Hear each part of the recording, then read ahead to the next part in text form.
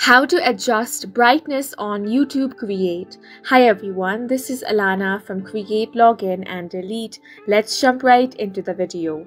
First of all, you want to open the YouTube Create app on your device. If you do not have this app, you can simply head over to Play Store or App Store to get this application. Now, if you want to adjust brightness on your video, you can either open your existing project or if you do not have a project, tap on the plus icon at the bottom of your screen. From your gallery, you want to select whichever video you want to edit. Then simply tap on the import option. Now, if you want to adjust the brightness of your video, at the bottom you're going to find a tab where there are different options. You want to select the one that is adjust. Once you tap on this, you will find the brightness option. Now if you drag the slider, you can find the level of brightness increasing if you slide it to the right hand side. If you slide it to the left hand side, the brightness is decreasing.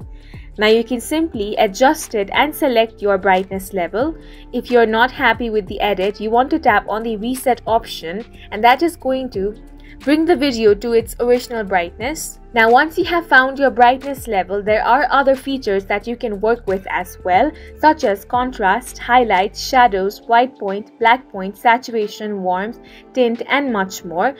You can explore all of these options as well. Once you are happy with the edit, tap on the done option. Then, if you want to export your video, tap on the three dots then tap on the export option, tap on export for confirmation and this is how you can adjust brightness on YouTube Create and that's it for this video. If you have any questions or confusions do let us know on the comment section and don't forget to hit the like button and subscribe for more helpful tutorials.